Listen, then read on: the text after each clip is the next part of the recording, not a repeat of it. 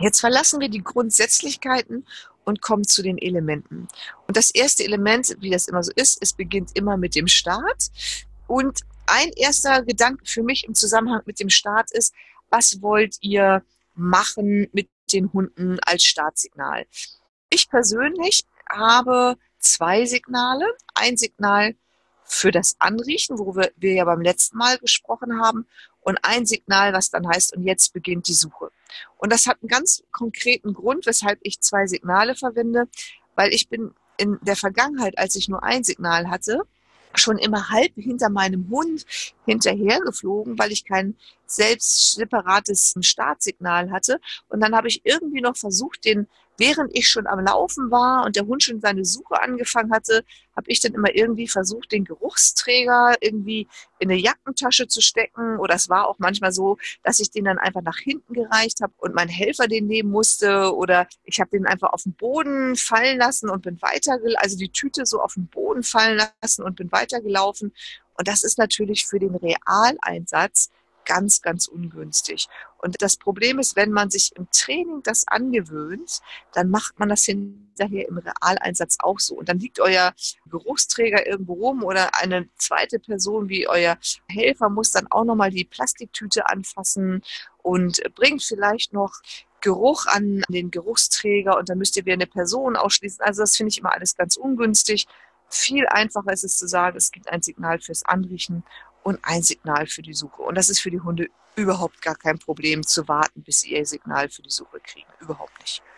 Und dann ist natürlich immer noch die Frage, wollt ihr ein Ritual als Start oder wollt ihr nur ein Signal als Start? Da würde ich sagen, auch wieder macht das abhängig vom Hundetypus, nämlich ob ihr eher einen Hund habt, der auch wieder unbedingt zum Ziel will, ein sehr eher extrovertierter, impulsiver Hund ist, weil wenn ihr dem vorher noch ein Ritual aufzwingt, wie einmal im Kreis gehen und dann zieht ihr dann das Geschirr erst am Startort an, dann kann das sein, dass es den Hund schon wieder anscheißt, dass er aus seiner Erwartungshaltung, jetzt endlich die Fährte arbeiten zu dürfen, so rausgerissen wird. Das wären Hunde, denen würde ich das Geschirr am Auto anziehen, sie ins Halsband nehmen, am Start Punkt umschnallen und dann die Signale fürs Anriechen und für die Suche geben. Fertig. Es gibt aber auch ein paar Hunde. Das sind vor allen Dingen Hunde und ich denke, dass es auch ein ganz klein bisschen herkommt. Das ist jetzt ein Fettnapf und dieser Fettnapf wird jetzt, jetzt sozusagen auch ganz original aufgenommen und verkauft sich. Aber ich nehme diesen Fettnapf einfach mal mit, weil ich denke, es nutzt uns nicht, da nicht ehrlich zu sein. Dieses Ritual, da so einmal im Kreis zu gehen mit diesen ganzen Erklärungen, dann kann ja schon mal die ganzen Gerüche aufnehmen und so.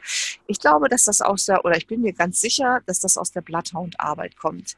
Ich habe übrigens noch nie einen Hund gesehen, der schon mal alle Gerüche aufnimmt und dann, wenn ich ihm den Anriechgegenstand gebe, dann auf einmal sagt, ah, diesen Geruch, den hatte ich doch gerade dort hinten in der Ecke links. Und dann stürmt er da sofort hin und, äh, und arbeitet die Fährte aus, was ja so wäre, wenn er sich die Gerüche merken würde.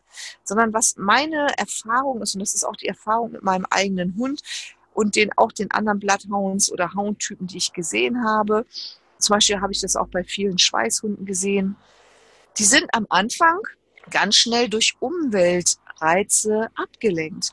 Wenn das da irgendwie an irgendeiner Stelle noch riecht nach, was weiß ich, nehme ich mal wie einer läufigen Hündin, aber es muss noch nicht mal so was Gravierendes wie eine läufige Hündin sein, sondern irgendein Geruch, dann sind die dadurch abgelenkt und fokussieren sich nicht auf die Arbeit, sondern müssen das dann erstmal für sich abgearbeitet haben. Das heißt, wenn ich die ins Geschirr nehme, anriechen lasse und sofort starte, kann das sein, dass sie sich erst stundenlang mit irgendwelchen nicht Gerüchen vor Ort beschäftigen, bevor sie auf die Pferde springen. Und das ist natürlich nicht das, was wir wollen und wäre auch eine schlechte Angewohnheit.